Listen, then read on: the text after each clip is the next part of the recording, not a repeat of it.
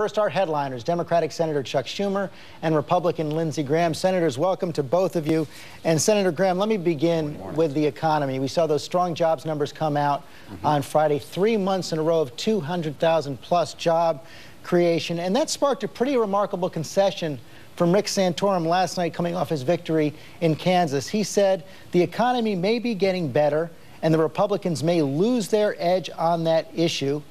Is he right, and what does that mean for the general election? Well, no, I don't think he's right at all. This is an anemic recovery after a pretty long recession, 37 months in a row over 8% unemployment for the people of the United States, the longest streak since the Great Depression. Last month in February, $229 billion monthly deficit, the highest deficit in the history of the nation. When you look at the stimulus package two years ago, uh, they projected unemployment at 6.5%. Obamacare said that everybody's premiums be lowered by $2,500. They've gone up by $2,200. And we're producing less oil on publicly held lands than any time in the nation. So the economy is not, uh, it's anemic at best, and the policies of the president are going to make it impossible for this country to recover. So, the big things haven't happened very well on his watch. So Senator Schumer, not even half, a glass half full from Senator Graham. well, I think the Republican Party's on the defensive.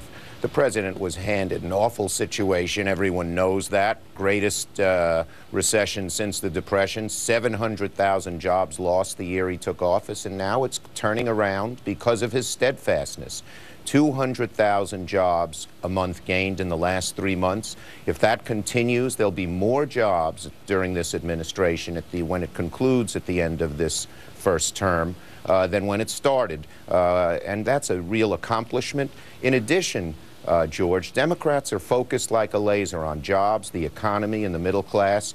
Republicans, realizing that that's not their strong suit, are going off on these other things, uh, uh, women's issues and women's health and contraception. And as a result, we're in a stronger and stronger position. Uh, the women's vote, uh, latest polls show we're up by 15 percent because they want us to focus on the economy Senator and the middle Schumer, class, let me, let me follow and we up are on doing that. it. Let me follow up on that because uh, you've this has clearly become a, a Democratic theme uh, this year, and you and several Democrats made a lot of hay with the comments of Rush Limbaugh. Uh, last week. Uh, but some Republicans are seeing hypocrisy there. I want to show a bit of an ad uh, that's being run by a group called ShePAC. It's aligned with Sarah Palin. They're saying the Democrats should be asking Bill Maher, the comedian, to turn back that million dollars he gave to Obama's super PAC because of his history of attacks on women. Take a look. Hi, Bill Maher here. Sarah Palin agreed to do commentary at Fox News, which is actually very similar to her day job, talking to a baby with Down syndrome. Speaking of dumb it's not because they have breasts, it's because they are boobs. Should Democrats give the money back?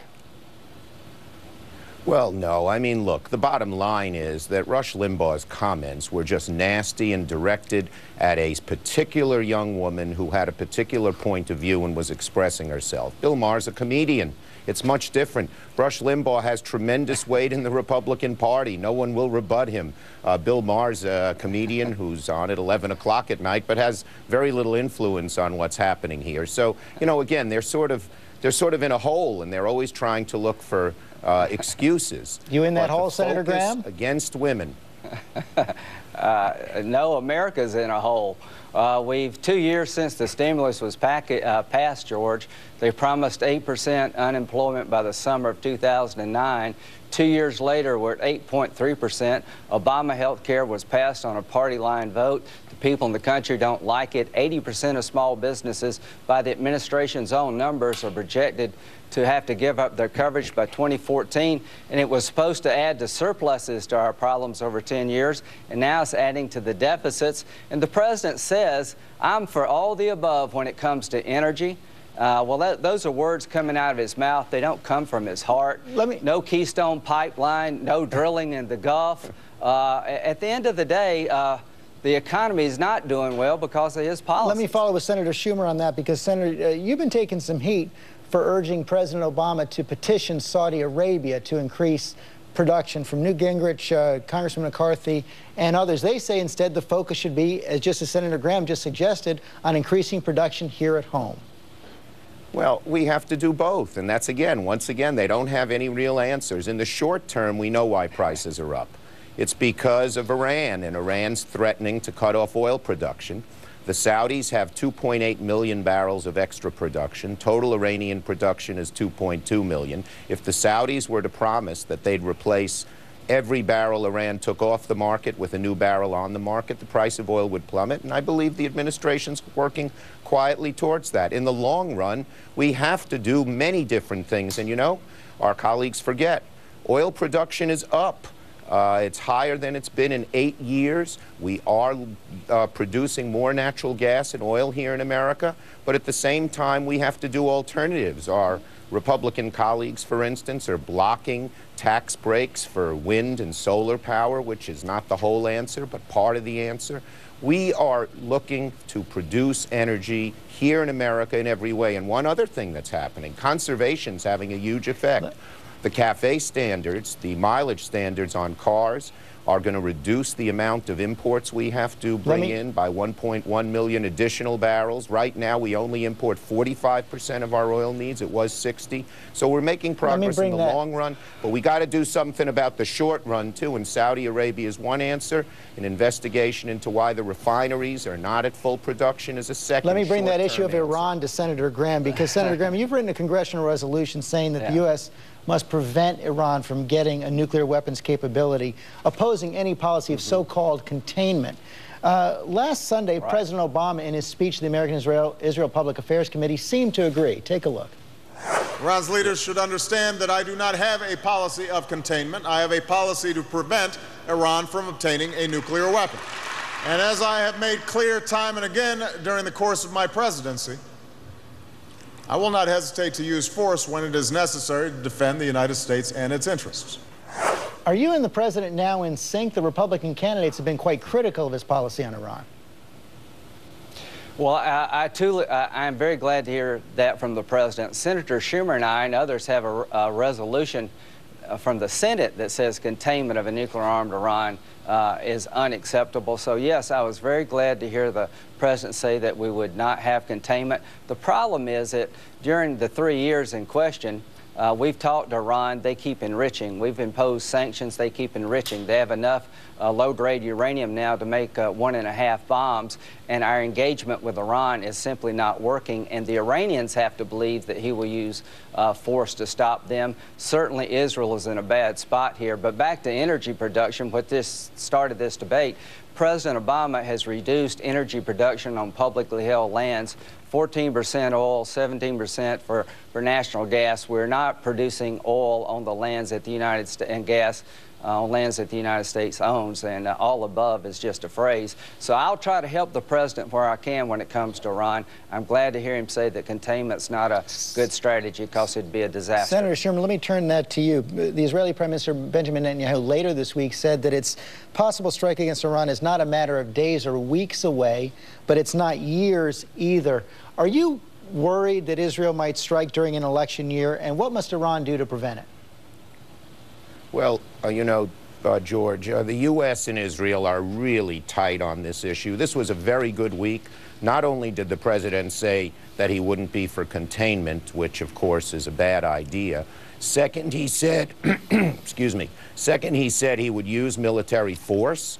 Uh, no ands, ifs, or buts, that Iran can't have a nuclear uh, weapon, and if the sanctions fail, that military force would have to be used.